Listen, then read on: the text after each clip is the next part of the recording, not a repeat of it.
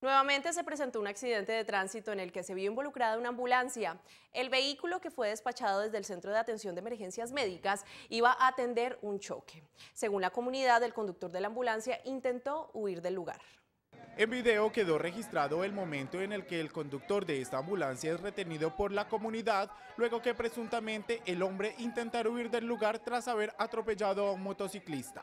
La ambulancia se dirigía a atender el caso y desafortunadamente hubo una colisión con una motocicleta que generó una lesión eh, hasta el momento. Eh, no tan grave en un motociclista. El accidente se presentó en el barrio San Judas cerca de la carrera 42 con 23.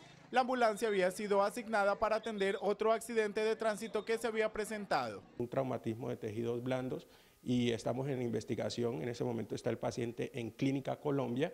Se le están haciendo los análisis radiológicos. En lo que va de enero se han presentado ya dos incidentes en los que se han visto involucradas ambulancias. El otro caso sí fue un exceso de velocidad de una ambulancia, se hizo los respectivos informes y, y, se le mandó todo a la Secretaría de Tránsito en este caso. El motociclista que resultó afectado se encuentra bajo observación y se espera que sea dado de alta cuando se descarten fracturas de miembros inferiores.